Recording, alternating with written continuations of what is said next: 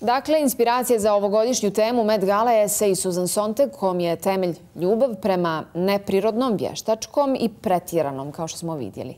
O kreacijama pričamo sa našom dizajnerkom Sanjom Bobar. Sanja, dobar dan. Dobar dan. Met Gala kažu nikada čudnija. Nikada čudnija i nikada kreativnija, mogu da kažem sa moje tačke gledišta.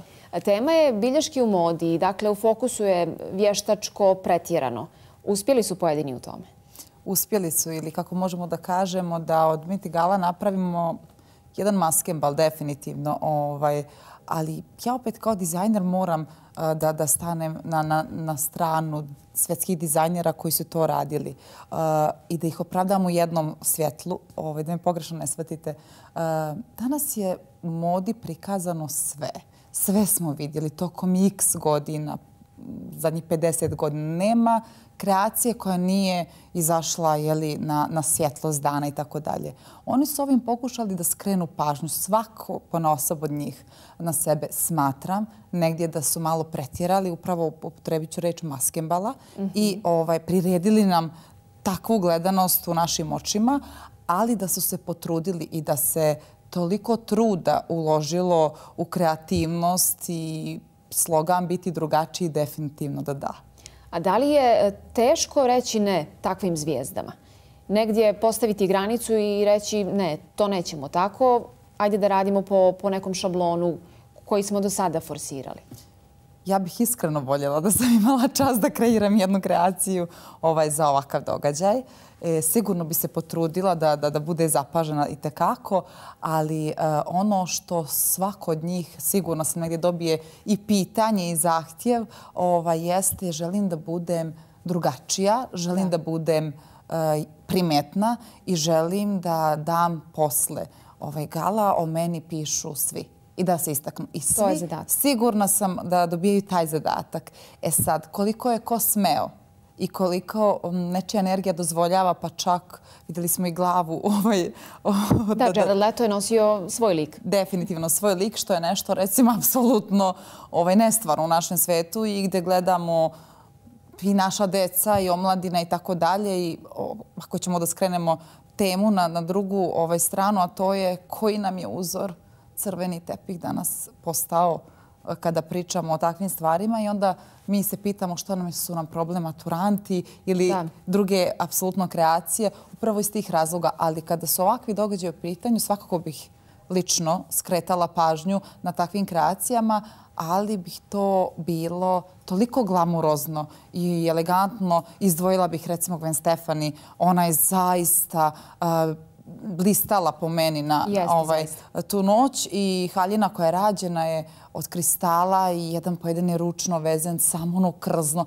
E, po meni onako treba da, da se dođe na pomenuti događaj. Bilo je sjajnih. Evo vidimo Anu Vintur, Demi Moore, Candy Svempul je meni bila divna, Rosie Huntington, Naomi Campbell, Ovo je Jennifer Lopez. Jeste Jennifer Lopez uvek, naravno, u svom seksi izdanju. Šta god da obuče, izgleda sjajno. Jeste, ali Naomi Campbell bih izdvojila. Boja je definitivno prelepo stajala i imala je taj kao neki kombinezon šlep koji se vukao zaista... Evo, Evo Ben. Jeste. Toliko rade utrošeno u, u ovu njenu... Ovo je izgledalo divno. Hailey Bieber. ovo nije dovoljno. jednostavno, da. Nije dovoljno za ovakvo predstavljanje gala, midi gala večer. A koliko se rađuju modni dizajneri? Da li se možda negdje dogovaraju da se ne bi ponovila neka ideja, neka kreacija? Pa sigurno kada se ovakvi događaju u pitanju da se konsultuju u vezi boje ili materijala. Ovaj, oni... Cardi B koja je potrebna pomoć? Definitivno, da. Ja sam se oduševila. Ja mogu samo da prepostavim koliko vremena trebalo da se izradi ovakva haljina. Katy Perry kao hamburger? Definitivno. Ovo, eto, malo i humora. Kao luster? Da, malo da zasijamo. Bilo je svega, da. Mislim da ćemo vidjeti i Serenu Williams, koja je bila u neobičnom izdanju. Jeste. Ovo je Rozi koju smo pomenuli. I Candice. Serena je bila u patikama. Šta ćemo sa tim? Da li se tako ide na crveni tepih, bez obzira na sponzore? Ne ide, ali ona je uradila nešto drugo. Skrenula na sebe pažnju, definitivno ono čemu ja pričam, što je poenta po meni ovaj događaj. Evo, Lady Gaga, definitivno, od nje se očekivalo. Ukrala je show, definitivno. Jeste. E da, ja bih izdvojila Kim Kardashian. Zašto? neki su je osuđivali, ali ja smatram da ono što je ona obukla je tako dobro izgledalo. I toliko je rada utrošeno na njenoj haljni kristali koji su sve ručno kačeni. I evo je Naomi Campbell, definitivno ovaj kao kombinezon, šlep, haljina. Prijenka Čopre, čudna frizura. I kreacija. Rita Ora, Kate Moss. Kate Moss je seksi pilna žena i njoj se... E, da. Ovo, ovo, Ovo je poput Gwen Stefani. Meni se čini da je to sličan stil. Sličan stil i stil, hoću upravo da kažem, gdje je meni favorit negdje. Celine Dion. Celine Dion je... Ovo od nje nismo očekivali. Nismo. I evo je Serena Williams. Serena Williams je skrenula pažnju na sebe upravo, samo s patikama, tim detaljem, ali nije dovoljno, složit se sa tobom glamorozno za... za Giselle. Divna haljina, ali po meni nedovoljno adekvatna za... Išli su iz krajnosti u krajnost moram da kažem, tačno se vidi ko je uh, radio na sebi i koliko je truda uloženo i na sebe i na samu kreaciju. Uh, malo pre sam spomenula Kim Kardashian. Predivno izgledala. Zašto? Zato što je izgledala kao da je izašla iz vode. Uh, haljina joj je prelepo stajala. Nije morala da buče dugu glamuroznu haljinu da bih ostavila utisak evo lično i na mene. Zaista ovaj, sve po meni pohvale za nju i haljina koja je kao od najlona rađena i moram da skrenem pažnju, budući trendovi, znači narednih par godina, definitivno koji se i meni i svim dizajnerima nameću, jesu upravo ti materijali koji mi nazivamo od najlona. Šta ćemo od njih da radimo i da predstavljamo, to ćemo da vidimo. Ali oni mene negdje podsjećaju više na neke kabanice ili neki taj stil u kom, u kom smeru bi moglo da se sa njima radi. Jedva čekam da dođu na naše tržište pa da vidimo.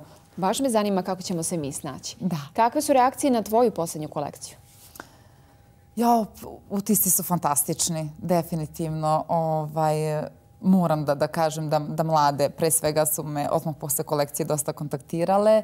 Uh, kreacije koje sam prikazala na Montenegro Fashion Week definitivno su ostavile utiska na sve njih iz razloga što su zaista, ajde da kažem, jednostavne, elegantne, a dovoljno glamurozne da potpune njihovo venčanje i pre svega udobne. Tu uvek kažem, zato što mi one sugerišu džaba mi i glamurozna haljina ako mi dobro ne stoji. Pripremaš i našu maturantkinju. Kako teku pripreme? Pripreme su pri samom kraju. Haljina je skoro gotova.